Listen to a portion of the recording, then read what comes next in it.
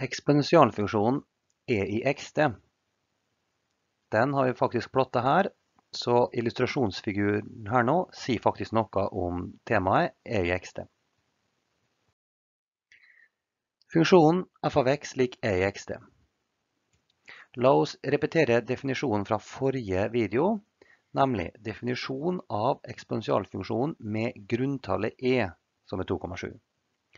Eksponentialfunksjonen f av x med grunntall e er definert ved f av x lik e i xt, hvor x er et reelt tall og grunntallet e er 2,7, 18, 28 osv.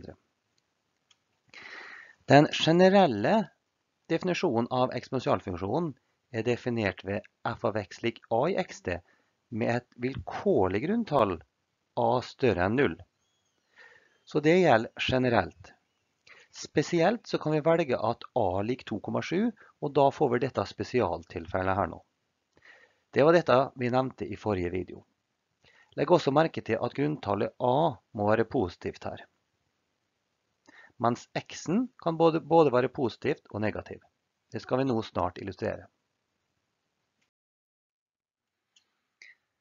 La oss illustrere noen egenskaper ved eksponentialfunksjonen f av x ved å plotte den sammen med andre eksponentialfunksjoner. Eksempel.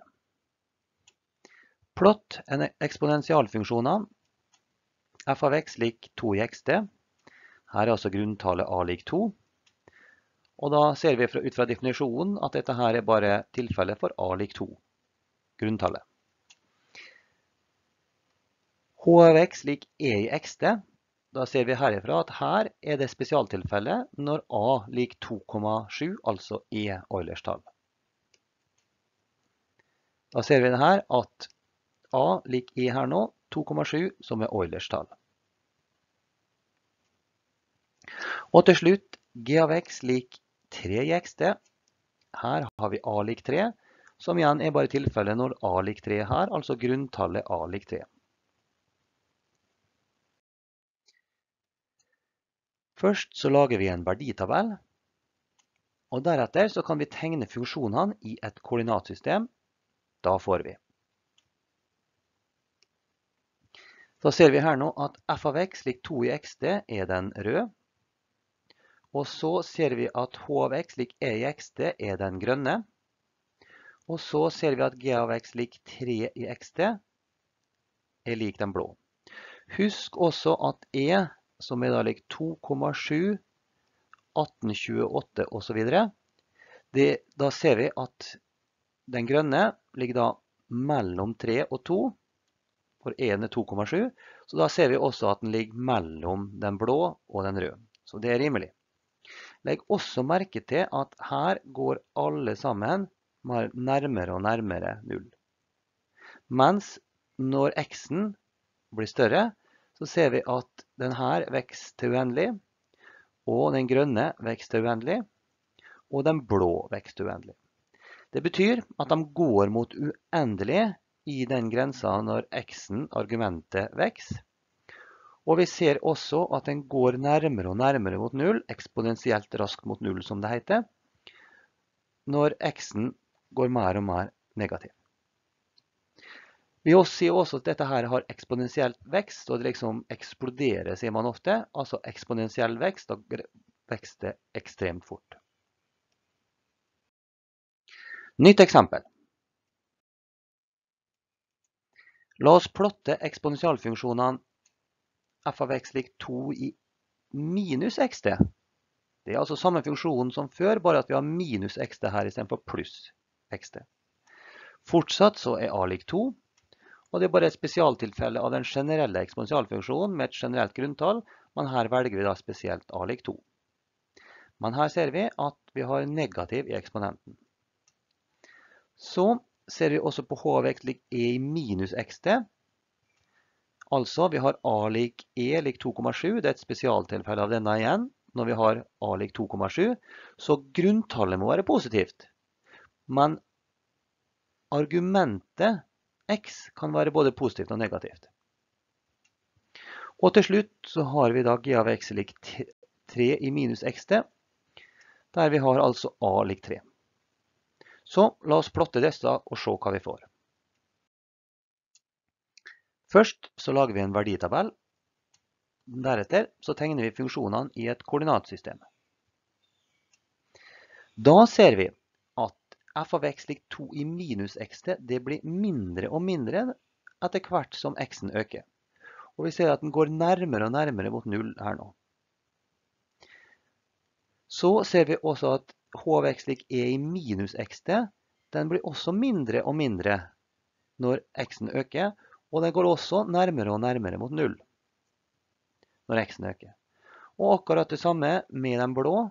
Når x-en øker, så blir den mindre og mindre, og går nærmere og nærmere mot null. La oss nå sammenligne disse to siste eksemplene og plotte figurene og ha dem på ett brett, begge to.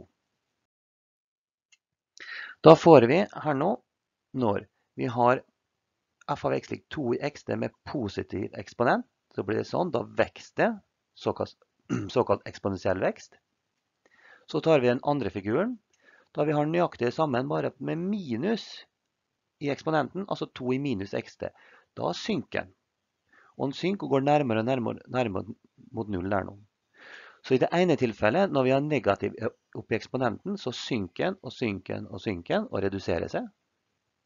Mens når vi har positivt oppi eksponenten, så ser vi at da øker den med økende verdier for argumentet x. Da ser vi likheter og forskjellene på de to siste eksemplene vi har sett på nå. Regneregler får eksponentialfunksjonen e i x til. Siden eksponentialfunksjonen f av x lik e i x til bare er spesialtilfelle av potensfunksjonen g av x lik a i x til, for her har vi a lik en generell a som må være positiv, mens her har vi da bare a lik e lik 2,7. Så gjelder samme potensreglene som ble presentert på en tidligere video, nemlig disse potensreglene. Så tidligere har vi lært om, i kapittel 1 har vi lært om disse potensreglene her nå, og nøyaktig de samme reglene gjelder også for eksponentialfunksjonen, bare at vi bytter ut a-en her. A-en som kan være hva som helst. Det da går over til e, som er lik 2,7. Eller så er reglene nøyaktig det samme, så det her er egentlig bare repetisjon. La oss se spesifikt på det. Regneregler får eksponentialfunksjonen e i xt med grunntall e. Setning regneregler for e i xt. La Oilers tall E være 2,7, sånn som dette, og la X og Y være reelle tall. Da gjelder følgende regneregler. Og i tillegg så har vi da E i nullte som er 1, og E i første som er 1. La oss se på de gamle regnereglene som vi lærte om i kapittel 1 som er. Disse reglene og disse reglene her har vi lært om før i kapittel 1. La oss se her nå. Men her har vi en generell A, der vi har en generelt grunntall A større enn 0. Men du ser at disse regnereglene er nøyaktig de samme som er der nå. Bare at i stedet for en generell A, så har vi her bare A lik 2,7. Og da ser vi at denne regneregelen er jo lik den. Denne regneregelen er lik den. Og denne regneregelen er lik den. Og denne regneregelen med a lik b lik e lik den. Og denne regneregelen er den.